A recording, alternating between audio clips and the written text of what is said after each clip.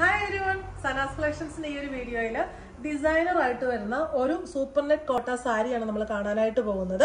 നല്ല എലഗന്റ് ആയിട്ടുള്ള ഒരു കളർ കോമ്പിനേഷൻ ആണ് ഇത് വരുന്നത്.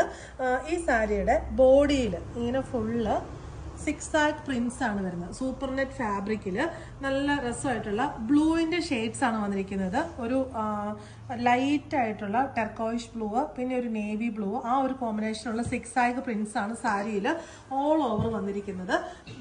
ബോർഡറിൽ ഇങ്ങനെ ചെറിയ ഒരു ബ്ലോക്ക് പ്രിന്റഡ് ബോർഡർ വന്നിട്ട് അത് കഴിഞ്ഞിട്ട് നോയിൽ കോട്ട ഫാബ്രിക്കിൽ ഫുള്ള് ഇങ്ങനെ എംബ്രോയ്ഡറി ത്രെഡ് വെച്ചിട്ടുള്ള എംബ്രോയ്ഡറി ആണ് പോയിരിക്കുന്നത്. ഫുൾ ബോർഡർ രണ്ട് സൈഡിലും അങ്ങനെയാണ് വന്നിരിക്കുന്നത്.